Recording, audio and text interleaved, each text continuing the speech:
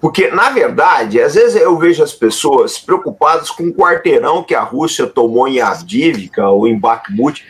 Pô, gente, nós estamos falando de uma transformação de mundo. Eu falo sempre isso, desde que desde a tomada de Constantinopla, que não se viu um negócio assim. Uma mudança avassaladora, essa é, é a verdade.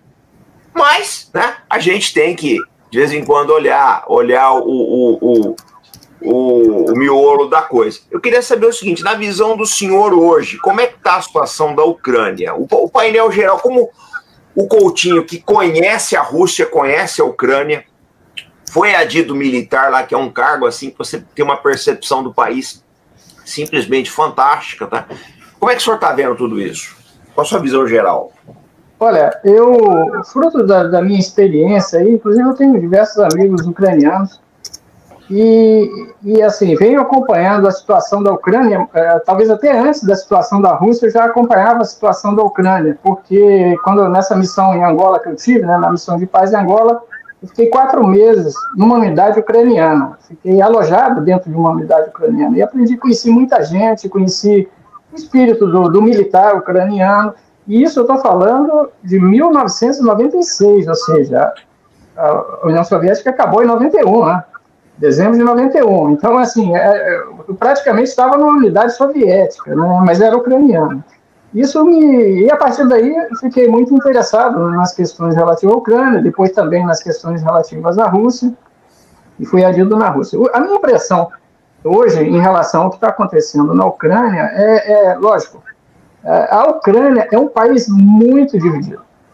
Muito dividido. Né? Então, assim, e isso tem algumas implicações importantes, essa heterogeneidade do, do povo ucraniano. Né? E quem conhece um pouco mais da história da Ucrânia sabe que é, essa, essa Ucrânia que nós temos hoje em dia é produto da União Soviética. Essa Ucrânia que, que terminou, quando do fim da União Soviética, a Ucrânia que, que existia naquele momento, já incorporando ali a Crimeia, por exemplo, e outras áreas, é, é, ela foi fruto da União Soviética. Antes da União Soviética, a Ucrânia era totalmente diferente.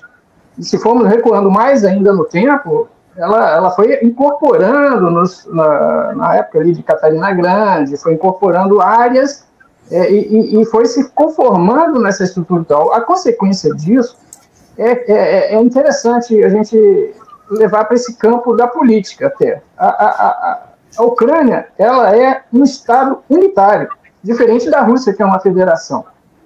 Então, as questões nacionais na Ucrânia são muito é, sensíveis, muito mais sensíveis do que na Rússia, por exemplo, porque na Rússia, por ser uma federação, ela dá diferentes graus de autonomia, ele dá, dá vamos dizer assim, ele trata, é, é uma característica da federação.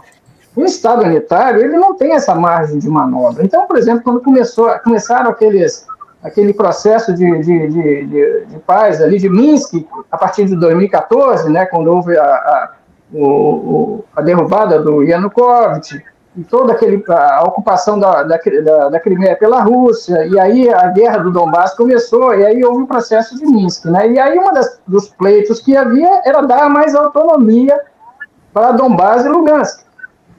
Né? Mas vejam, a, a Ucrânia é um Estado unitário, então essas coisas são muito complexas lá.